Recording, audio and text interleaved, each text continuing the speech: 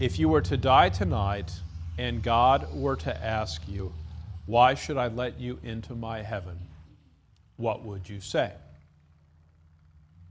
What that question gets to is it gets to the core of why, how people think they're saved. When you ask people that question, some will say, I already have a church. Some will say, I've been water baptized. Some will say, I live by the golden rule. I keep the commandments. I tithe. Why are those responses so scary? Because when people are answering the question as to why God should let them into heaven, they're reciting their works, aren't they? And Ephesians 2 8 9 just told us that it's not of works. And what was the last part of verse 9? Lest any man should what?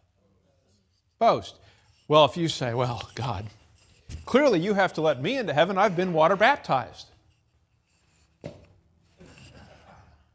I mean, does God say, wow, that's just fantastic?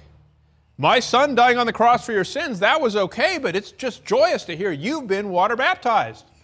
And the fact that you tithe, incredible. So you give me 10% after I created everything? Wow, incre- amazing. You, you, do you realize how crazy it is for man to boast before God?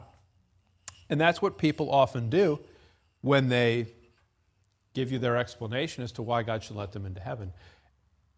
I'm not making fun of it. What I'm saying is this what you see in those responses is a failure to understand grace.